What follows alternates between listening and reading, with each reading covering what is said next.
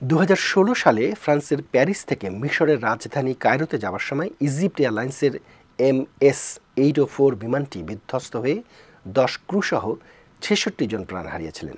Greek island এবং ক্রিট অঞ্চলের মধ্যবর্তী অঞ্চলে বিমানটি বিধ্বস্ত হয়। সম্প্রতি Francis bureau of inquiry and analysis for civil aviation সেফটির নতুন একটি তদন্ত সম্পন্ন হয়েছে। তাতে বলা হয়েছে, ককপিটে পাইলটের ধরানো সিগারেটের আগুন থেকেই দুর্ঘটনার সূত্রপাত হয়। ককপিটে থাকা মাস্কের অক্সিজেনের সাথে সিগারেটের ধোঁয়া মিশে অগ্নিকাণ্ডের ঘটনা ঘটে। পরে বিমানটি বিধ্বস্ত হয়।